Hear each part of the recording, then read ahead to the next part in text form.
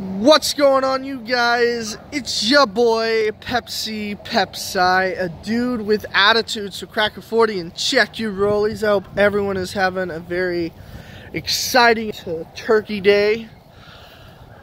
Just wanted to show y'all that we got here okay, and Charlie's in his big backyard.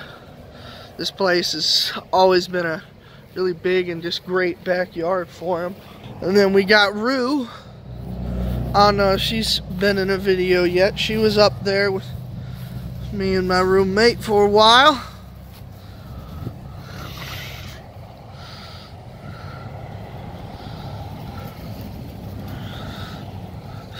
He's always on a leash when he goes outside. Oh yeah, Charlie.